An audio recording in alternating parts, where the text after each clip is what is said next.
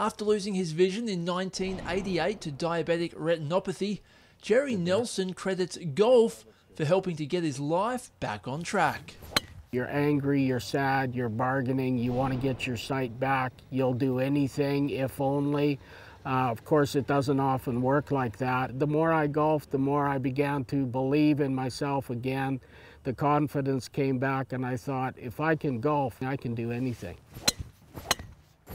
They say golf is a game of feel, and that is absolutely the truth when it comes to blind golf. You have a sense for things, but when you hit the ball, you feel everything. In 2013, with the help of fellow blind golfer Brian McLeod, Nelson founded Blind Golf Canada in an effort to grow the sport and encourage others to play. Brian and I and some other guys as well just basically decided enough is enough, let's do this. We've set some goals, we want to increase membership, we want to have some more tournaments. We know that it'll take time, but it is progressing. And it's progressing with the help of remarkable athletes like Josh Bailey, Partially paralysed on the left side of his body, Bailey is not only golfing blind, but also with one arm. Their first thought is when they see me on the golf course is he must struggle. As soon as I hit that first drive off the first tee and how straight it is and how, how long it can be with the one arm, they're absolutely amazed. Bailey's condition is the result of a car accident he was involved in at the age of three.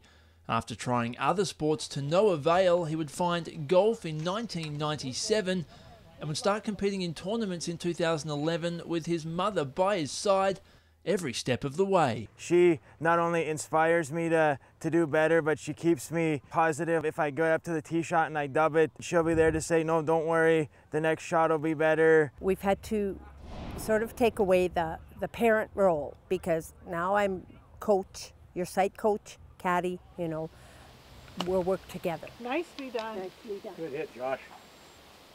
Beautiful. Good job. I, I love being out here competing with, with people that, that may not necessarily struggle, but out here and doing the best that they can do as well. On this day, Bailey and Nelson will be partnered up with sighted golfers for a practice round prior to the Canadian Open Blind Golf Championship. And needless to say, those golfing with them for the first time were left in awe. Just sitting there watching them and, and trying to understand how they can hit that ball without seeing it. I mean, I have a difficult time hitting it when I can see it. It's totally amazing. They walk the green and they can tell right away what the downhill, what the uphill, how much slope there is. I struggle with my game, and to see someone like that golfing so well, I'm very impressed. You don't have to look far to find inspiring stories in the sport of blind golf. And while everyone has overcome their own unique challenges, they have all had to learn one simple lesson along the way. You can still play, and absolutely you can. For Go Kootenays in Creston, I'm James Farnan.